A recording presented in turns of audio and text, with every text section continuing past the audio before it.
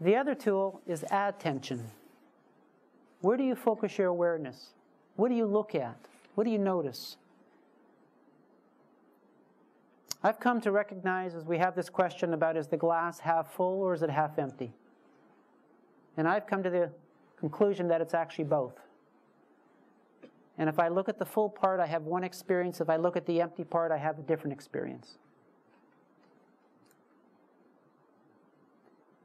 I spent the first many years of my son's life looking at the empty parts of my son.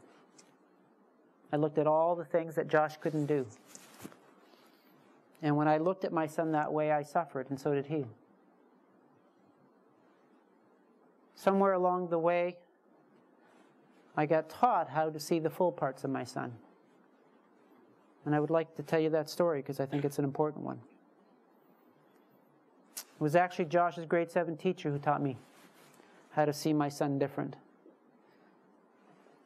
And it was the year Josh was going into grade 7, and the school that he was attending, which was a middle school in Port Coquitlam, there was enough students that year for two grade 7 classes.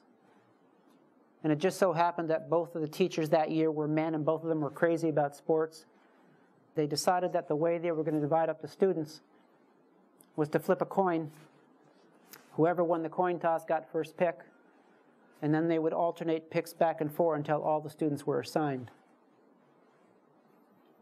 And when I tell this story and there's teachers in the audience, they often cringe a little bit because that's not how you're supposed to assign students. But that's what these two fellows did. So they flipped the coin. A teacher by the name of Jeff won the coin toss, and so he picks up this list of about 70 students and he goes over the names, trying to figure out who to choose first. And after about a minute of thinking, he decides to choose my son with his first pick. And the other teacher is confused. And he says, Jeff, I don't get it. Like he said, I don't know all the kids on the list, but I know Josh. Josh is pretty hard to miss. And he said, I know that on that list is bright kids, on that list is great athletes, on that list is funny kids, on that list is good looking kids on that list is cooperative kids. And instead, you choose a child that has an uncontrolled seizure disorder, that has the capacity of a two year old, that needs to be toileted, needs to have all of his curriculum modified. And then you picked him with your first pick. Help me understand. And Jeff was one of those amazing people that saw my son different. And he said, Well, let me tell you what I've noticed. He said, I've watched Josh around the school the last couple of years. And he said, Actually, more important, I've watched the other kids around Josh. I watch how eager they are when he comes into the school and how they want to take turns pushing his wheelchair to the classroom. I watch how they'll assist him to get his coat off and get him into his desk. I watch how they'll modify the rules of a game during recess or during gym to include Josh in the game. I notice how they'll take a sandwich at lunch and break it into smaller pieces so that Josh can eat it more easily. I notice how they'll sit or lay beside him after he's had a seizure and they'll hold his hand and stroke his forehead. And how they'll whisper in his ear that he'll be okay. And what I notice is, is that when they're around Josh, they're kinder and gentler. And so I think that if I have Josh Kuntz in my class, that it will be a kinder and gentler place for all kids to learn. Now, there's somebody who didn't see Josh's disability, he saw Josh's gift. And Josh's gift wasn't what Josh does, because Josh really doesn't do very much. But Josh's way of being in the world was the gift. And Jeff told me that story quite by accident a number of months after school started, and it caused me to cry because I realized I was like that other teacher. I saw all the things Josh couldn't do.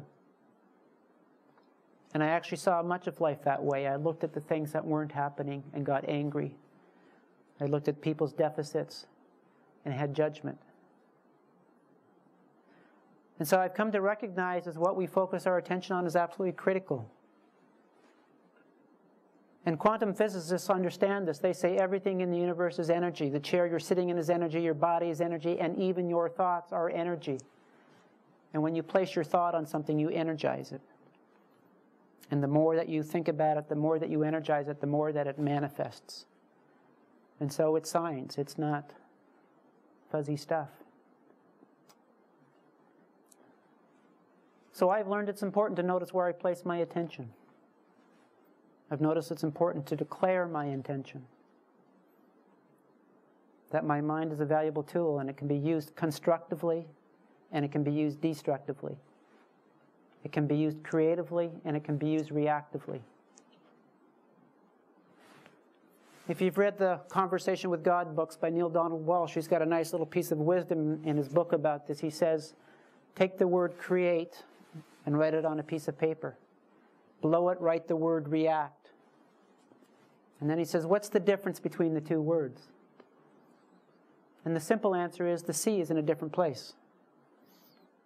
And he says, If you want to create something, you have to see first.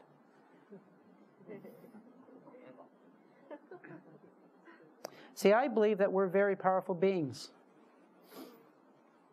In my office and in my home, I have that Michelangelo painting where the hand of God is extended to the hand of man. I'm sure most of you are familiar with it, it's a classic. What you may not know is the name of the painting. The title of the painting is called Creation. And I'm not sure what Michelangelo had in mind, but I'll tell you what I get out of that painting and out of that title. I believe that what's being passed from the hand of God onto the hand of man is the ability to create. That when the Bible and other books says that we're made in the image and likeness of God, it doesn't mean that we look like God. It means that we too can create like the great creator. And I've come to recognize that when I embrace that, when I live my life creatively, it's an incredible experience. What I've learned is that the act of creation is actually one of the most joyful things that we do in life. And that you can make every moment and every day an act of creation. And as a result, being a place of joy. Now, again, what I've come to recognize is that I live life reactively for most of it. Life would show up, I would react. Life would show up, I would react. I acted like I wasn't in charge of my own life. In the counseling profession, and particularly in drug and alcohol work, one of the metaphors that we sometimes use is the metaphor, a question of who's driving your bus. And what that question refers to is that is the suggestion that life is like being on a bus. Now the question is is that are you the driver of the bus or are you a passenger complaining about where the bus is going? And what I notice I spent most of my life as a passenger complaining. And when I climb into the driver's seat and I start to drive my bus, my life becomes significantly different. And so, one of the most powerful tools I learned about peace and joy and happiness is about using my imagination constructively and creatively.